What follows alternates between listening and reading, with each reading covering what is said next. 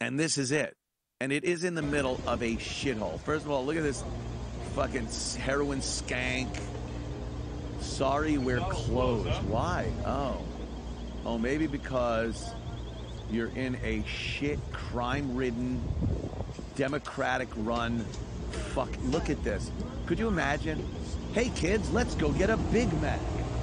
And, and this is the gauntlet you need to. Run and then some fucking. This is like uh, a scene out of Total Recall. This is the place that the the mutants lived in Total Recall, and they cut the air off, and unfucking believable. That's the Johnny Cab just pulled up, and uh, yeah, so that's that's what's going on.